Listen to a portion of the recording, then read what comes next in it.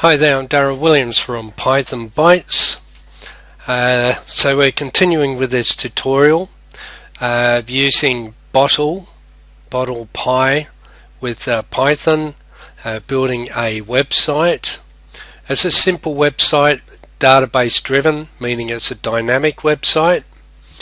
So we will now create a route for creating a new to-do task. This program is very limited in what you can do, but it's giving you the idea of how to create routes, how to pass on information to and from to the user from this simple server okay and you can post data into the database that the user inputs on a form so what we will do now is we will create a function and a route to create to do tasks.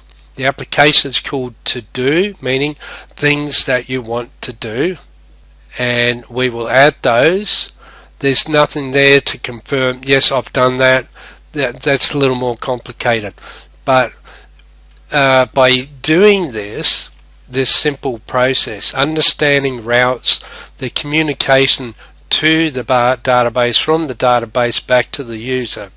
Once you understand that concept, then you'll be able to build a little more complicated web applications. Uh, these are more for development rather than production, meaning uh, on the actual internet there's a, more that you need to be careful of with security, hackers and so forth but this will give you a general idea on how Bottle works. Once you understand the concept of routes and the method of uh, requesting information, posting information, getting information from the database, it will then help you to understand Flask, and Django.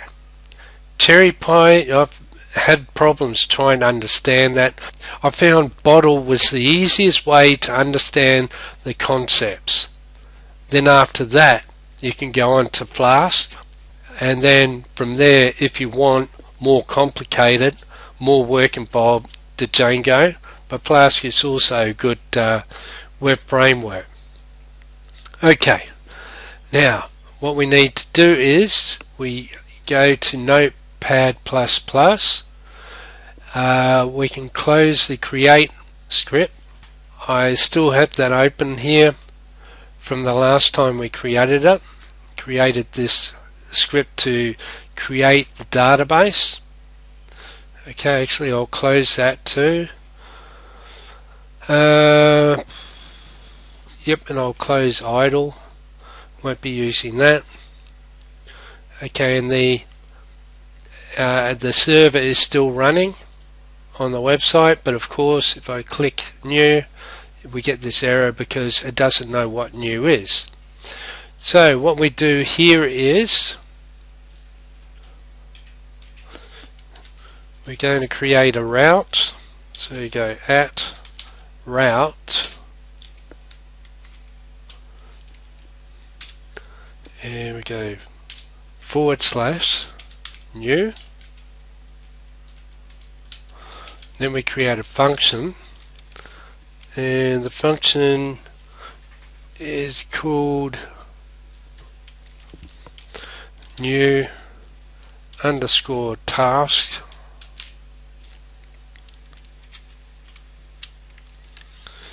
Okay.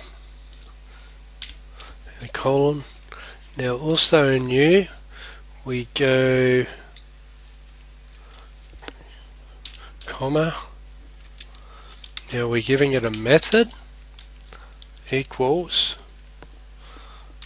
square brackets. And then in here in caps go get. And the other one is post. So now we're going to use get and post and they will be requests. So up here you go comma request comma get and post so we're importing those from bottle okay so now we have created our method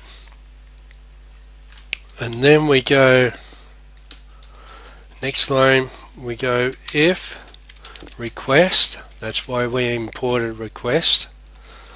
Request post get.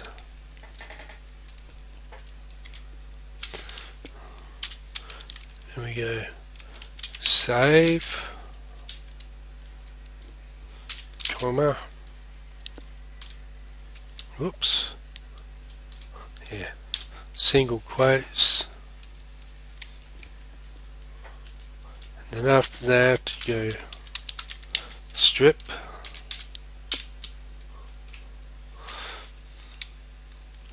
and then you go to do title equals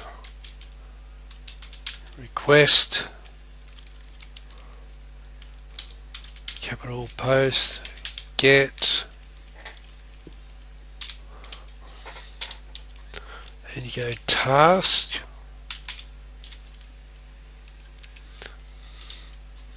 okay so now we're using request get and post so you go request post get task so we'll have a form.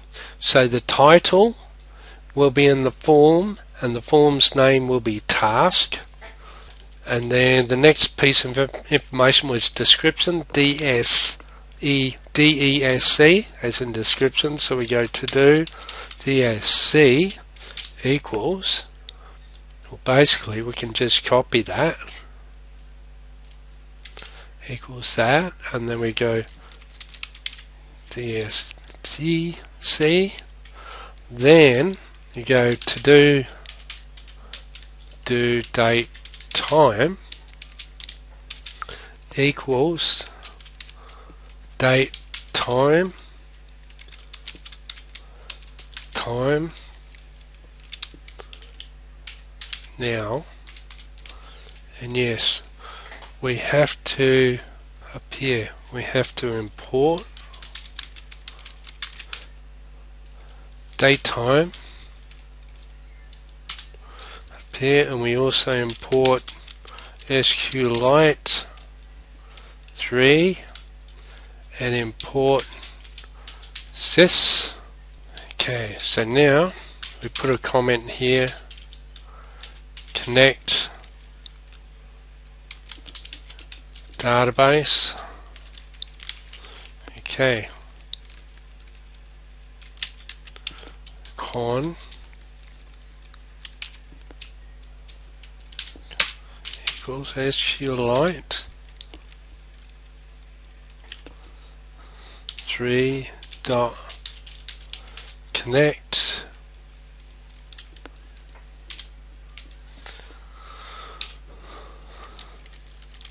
Go data to do uh, to do that.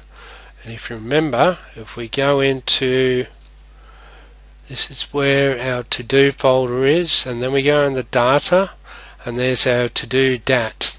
That's our database. Okay so we're connecting to the database. And we're going cur equals con cursor. Okay so that's our cursor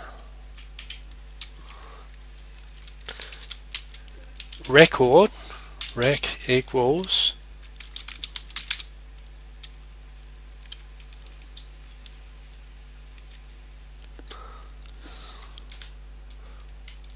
so CUR as in cursor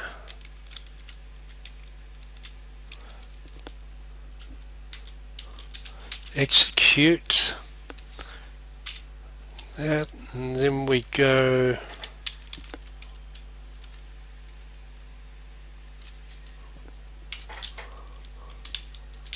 insert into to do. Values.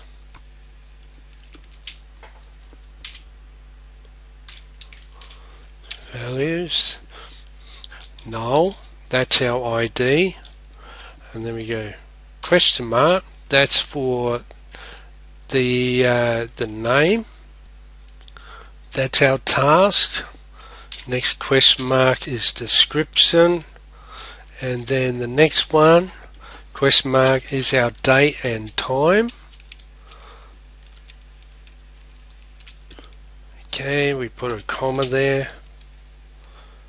Parentheses and in the parentheses we go to do. Title. Over there. To do description to do date time and these are the variables to do title to do description. They're actually strings and that is our date and time now and we insert that. Okay. So that you notice the two red parentheses that's closing off that parentheses there. So now we have inserted the record and then we go con commit.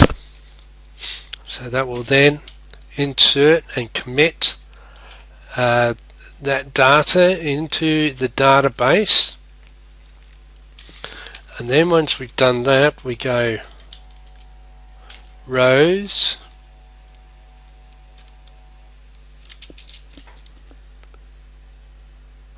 uh, no I won't do that yet. Um, right rows equals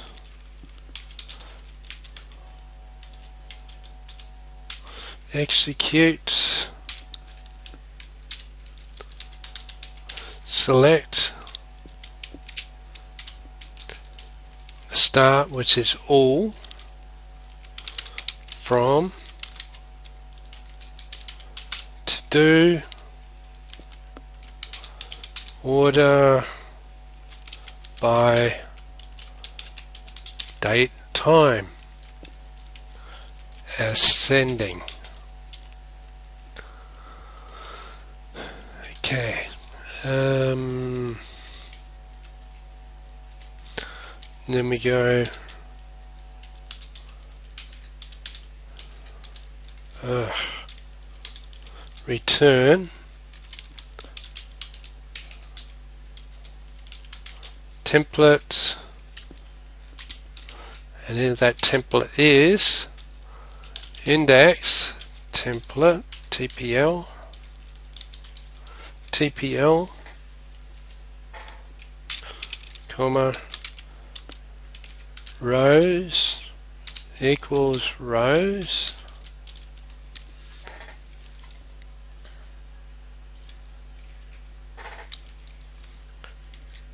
backspace four spaces.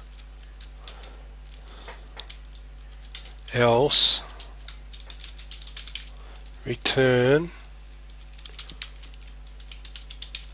Template.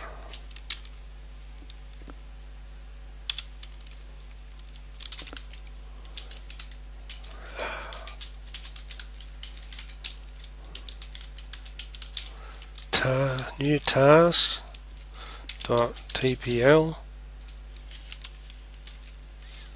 okay so that is our new function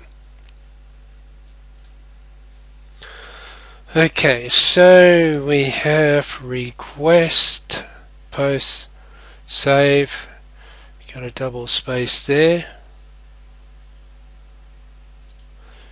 I believe that will be stripping the new lines at the end. Uh, get the variables, request, get the variable, tasks, get the variable for description, get the date and time right now, connect to the database, the cursor, CUI is our cursor, record equals execute insert into to do values that's ID it's auto incremented that is our name or title the title description the date and time. Insert that into the database. Then we can commit which tells us to commit it to the or insert it into the database. Without that commit it won't insert it. Then we request the rows equals select everything from to do and order must be by the date and time uh, rather than what the task is. And then return index template and display all the rows. Or if that doesn't happen if it's not a post return to the template new task okay. So I'll leave that as it is so far because we have two things that we're actually doing. We're creating a new task and then once we have inserted that task in the database we want to display it in the index template. Okay so I'll leave the tutorial at this and then the fun start will begin where we change add some code to our index template which we have already made and we'll also create a new template called new task with a form in it and then we'll see how we go from that with the next tutorial. Okay, if you have any questions or you want to make a comment uh, about the tutorial, this particular tutorial, leave a comment in the where the video is on YouTube, leave a comment there and uh, I'll, I will return a reply with a comment as soon as possible re reply to your questions and thank you for your comments. Uh, please subscribe to the channel. There should be a link on the video that you can just click and it will subscribe you to my YouTube channel. Uh, so till the next tutorial, hope you are enjoying these tutorials. Uh, looking forward to the next one. Goodbye.